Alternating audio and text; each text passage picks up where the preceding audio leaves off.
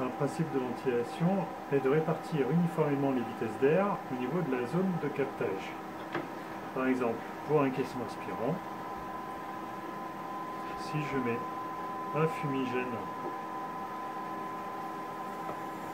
côté aspiration, le polluant est bien.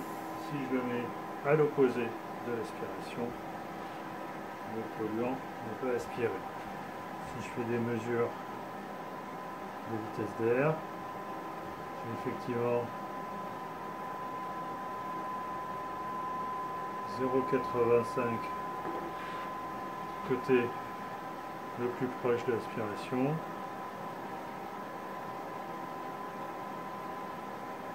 et 0,12 au point le plus éloigné.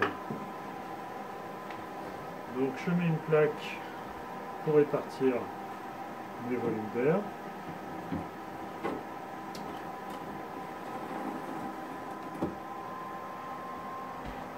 Que se passe-t-il donc avec des fentes aspirantes si j'ai un fumigène le polluant est aspiré sur toute la longueur du caisson aspirant?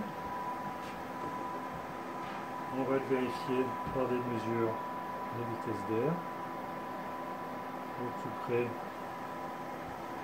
de 0,80 plus loin.